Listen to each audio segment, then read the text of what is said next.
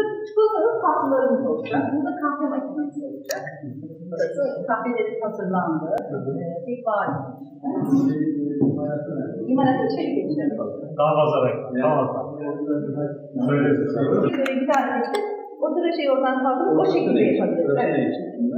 Bunlar her şeyi tezgahta yapıyoruz Sayın Başkanım. Her şey. Tamam.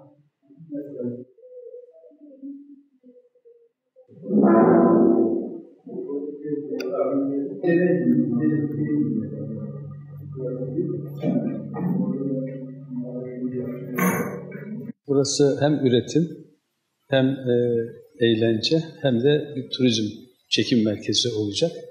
Bildiğiniz gibi e, hem çikolata üreteceğiz hem de e, Kurul e, Kalesi'nde bulduğumuz Kibele'yi marka yaptık. Kibele heykelinde buradan markaya geçtik. Burada uluslararası anlamda da çikolata markası geliştirerek çikolata üretmek istiyoruz. Bildiğiniz gibi fındıktan gelirimiz 2 milyar dolar. Eğer biz bunu çikolataya çevirirsek tamamını 8 milyar dolarlık bir katma değer ve gelir elde etmiş olacağız. Onun için buradaki bütün çalışmalarımız e, geleceğe dönük fındık gibi bir marka olan ürünümüzü e, bir sadece kuru yemiş olarak değil, aynı zamanda yiyecek maddesi olarak ve çikolatanın ana gibilerinden biri olarak yapmak istiyoruz. Bundan sonraki etabımız ayrıca bunu çekirdek kakaoda üretmek. Bununla ilgili bütün hazırlıklarımız tamam. İşin kültürel boyutunu ihmal etmedik.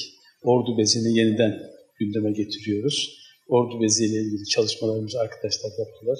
Bununla ilgili ürünler, e, gömlekler, e, kasketler üretiyorlar. Hem işin e, kültürel boyutunu hem ticari boyutunda böylece gerçekleştirmiş oluyoruz. Bu bakımdan e, yepyeni bir konseptle hem çikolata üreteceğiz, hem kültürümüzle buluşacağız, hem de burayı bir çekim merkezi yapacağız. Ve tamamen profesyonelce çalışmalar üretilecek, çalışmalardan üretime geçilecek.